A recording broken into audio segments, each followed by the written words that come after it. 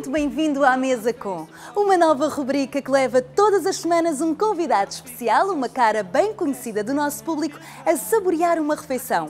Esta semana estamos no Chimarrão Campo Grande, um local que oferece a mais genuína tradição do rodízio brasileiro.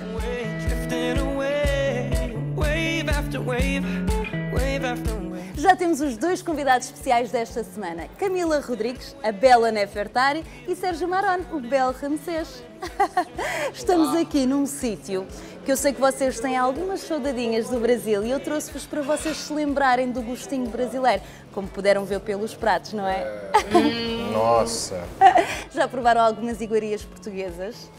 muitas, né? Então, bacalhau. Sim. Esse é obrigatório. Doces, doces é com Marone. Marone provou Já provei todos. todos. O que é que mais gostaste? O pastel de nata, sem dúvida. E tu, Camila? És mais de salgados? Eu gosto muito de doce também, mas pra mim o pastel de Belém, o pastel de nata é o melhor que tem.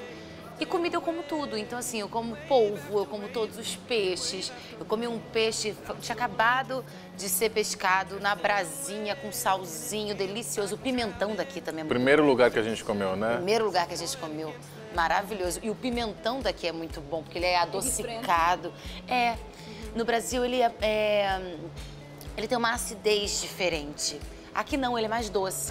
Qual foi a comida mais apetitosa que vocês provaram até hoje? Aquilo que vos marcou mesmo? Ah, eu sou, eu sou louco por comida tailandesa. Eu adoro massamã, adoro curry. é, eu sou louco. Comida tailandesa pra mim é a melhor que tem. Eu adoro sushi.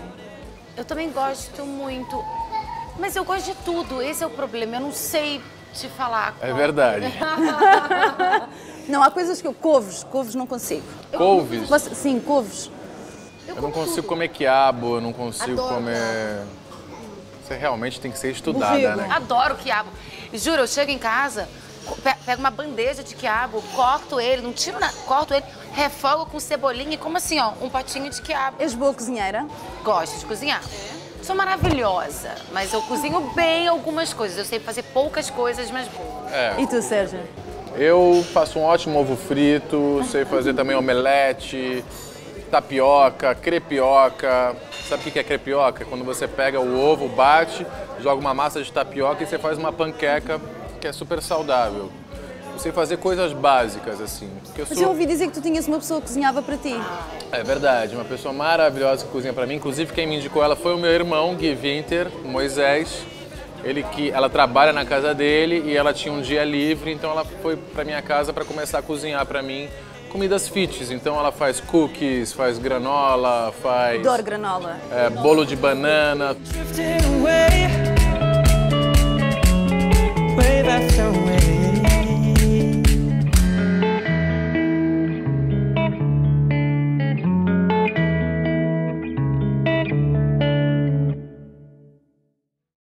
Vocês têm origens mesmo brasileiras ou não? Ou têm de outras nacionalidades? As vossas famílias? Eu tenho italiana Eu também. E eu também. portuguesa. E portuguesa também? Eu também. A sério? Italiano e Acho que a português. maioria dos brasileiros tem sempre família portuguesa. Meu pai é Monteiro. Monteiro Marone, italiano e português. Uhum. E sabem falar italiano? E eu parlo muito bem italiano. Quantas línguas falas? Português, italiano, inglês e agora espanhol. Espanhol. Eu nenhuma mesmo, eu tô só no português. Sou sucinta. E gostavam de ir além fronteiras? Imagina, vocês agora estão a fazer coisas no Brasil, já passou para Portugal e podem se calhar fazer coisas aqui em Portugal, mas sei lá, noutros sítios. Ia ser Seria ótimo. maravilhoso. Nós temos várias referências de atores brasileiros que Sim, uns amigos meus, um específico agora, o Miguel Thierry, veio para cá para fazer novela. Tem outros, outros amigos que já vieram fazer novela. Seria maravilhoso você passar um ano, que é muito bom que a gente não tem esse problema da, da língua, né? língua. Principalmente para mim que não falo. Então, Como é que são os portugueses? Os portugueses são bem aceitos nas novelas lá no Brasil. Muito. São. A Maria João Bastos é uma grande amiga minha. A primeira novela que ela fez no Brasil foi O Clone. E nós fazíamos par romântico. Eu fazia o Cecel, ela fazia a Amália. Uma querida. O Ricardo Pereira também. A gente fez um filme juntos. Vocês viajam muito Bastante. e quando viajam gostam de provar a gastronomia típica da região. assim. É, eu gosto, mas assim, eu tenho um problema sério com coisas do mar, mariscos, camarão, bacalhau, que eu sei que é uma especialidade portuguesa, mas eu não consigo comer. Mais de carnes. É, eu sou mais de carnes.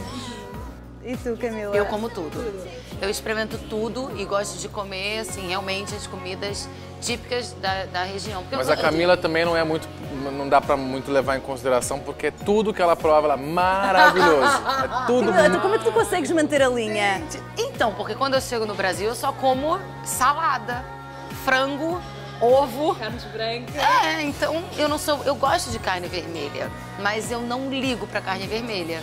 Tudo bem, eu tô numa churrascaria, eu vou comer. Mas eu não ligo, eu prefiro frutos do mar, é uma coisa que eu realmente gosto. E eu gosto de comer. Por isso que assim, eu fico um período sem comer. Quando eu como, meu Deus do céu, aquele negócio é muito bom. Então, como eu ia vir pra Portugal, fiquei uma semana quase sem comer. Como o Sérgio também ficou quase uma semana sem comer. E o exercício físico?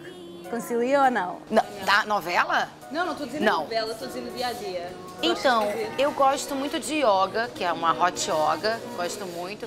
Gosto de Muay Thai, eu não gosto de academia. Já Sérgio, eu não... Sim, eu vi uma matéria tua que tu gostas de treinar na rua, é isso? Na verdade, eu não gosto de treinar. Por mim, eu ficaria na horizontal o tempo inteiro. Eu sou um Garfield, praticamente. Mas, assim, eu preciso treinar porque eu, eu- eu- eu já fui obeso quando era adolescente. Então, eu, vivo numa constante vigilância do meu peso, do meu corpo. Não só por uma é dá- questão quando é que dá estética. essa transformação? Tu passas da obesidade, De 12 para 13 anos, assim. mas, mas porquê? Porque tu quiseste ou porque alguém impôs isso em ti?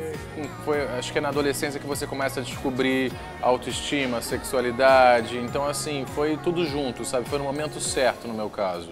E aí eu comecei a fazer dieta, comecei a me cuidar e aí deu certo. E desde então eu vivo numa constante vigilância. Claro, eu não sou neurótico, estou aqui tomando um pouquinho, um drinkzinho com vocês. Eu como, ó, tem fritura no meu prato. Mas assim, eu, eu como muito bem, eu sou muito regrado. Em geral, eu sou muito regrado. Então eu acho que vamos agora provar o que temos no prato, não? E vamos fazer um brinde. Vamos brindar, Vamos. gente. Cheers. Saúde. Ao filme aqui em Portugal. É verdade, ao grande Sucesso aos Os 10 Dez mandamentos do filme. muito sucesso. E que a gente volte muitas vezes Muitas cá. vezes, Portugal. Vamos voltar. Tonight